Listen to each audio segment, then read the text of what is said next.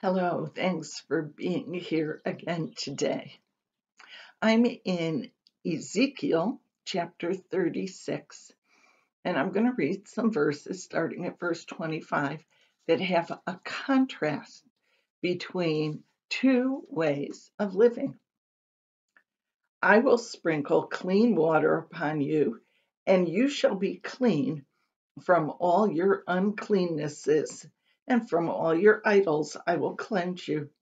A new heart I will give you, a new spirit I will put within you. I will remove from your body the heart of stone and give you a heart of flesh. I will put my spirit within you and make you follow my statutes and be careful to observe my ordinances. And then you shall live in the land that I gave to your ancestors and you shall be my people, and I will be your God. I will save you from all your uncleannesses, and I will summon the grain and make it abundant, and lay no famine upon you. I will make the fruit of the tree and the produce of the field abundant, so that you may never again suffer the disgrace of famine among the nations. Well, obviously, that was a prophecy for the nation of Israel um, uh, Ezekiel uh, speaking on behalf of their God. But I believe that that is also a metaphor for what happens to us in our own lives on a spiritual path.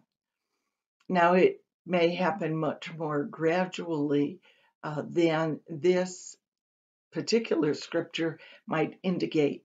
Here, it just seems like a sudden change that uh, one day our old heart is gone and our new heart is there.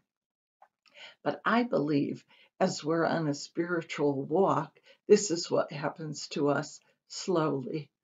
As we become aware of new ideas and new ways of living, as we begin to reject some of the old things that we might have done and said as no longer appropriate. When we do what uh, Paul says in the New Testament by renewing our mind and changing our way of thinking, it also changes our way of doing. And we find that our life is filled with abundance an abundance of joy, abundance of peace, an abundance of uh, tranquility and equanimity that was missing before. There's no no longer much so much confusion or so much um, wondering about the future, but we feel secure in our new life. We have, in fact, been given a new way of living and a new spirit.